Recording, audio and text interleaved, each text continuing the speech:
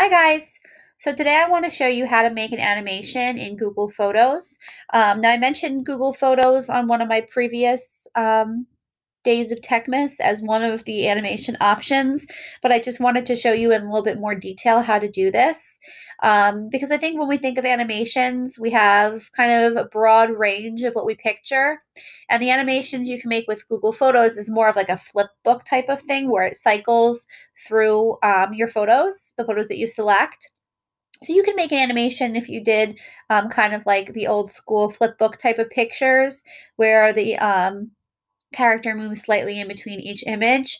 But you can also create something like this to kind of advertise um, some ideas, to showcase some different ideas, maybe for a project, um, maybe to showcase some student work.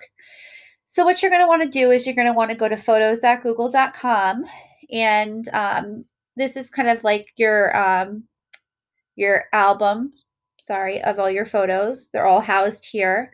And if your photos are already there, then you're in good shape. If they're not, you can go ahead and upload them. So right up here at the top, you would click upload and then you would select the pictures that you want to include. And so for me, I just actually finished uploading these four. These are the four that I want to create my um, animation using. So I'm going to go ahead here now and I'm going to click create.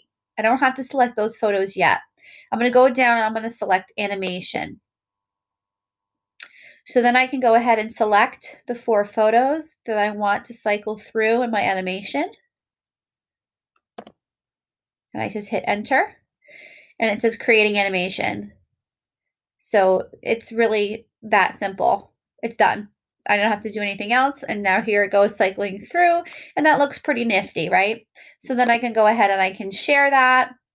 Um, I can create a link I can go ahead and I can download that, which is what I normally do. And now it creates a um, GIF that I can upload into my Google Slideshow, um, into I can upload it on a web page. So anywhere where you could normally use a GIF, you could upload this GIF that you just created.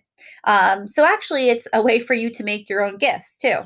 So that's that. Hope you guys like this and find a way to use it. Thanks for watching.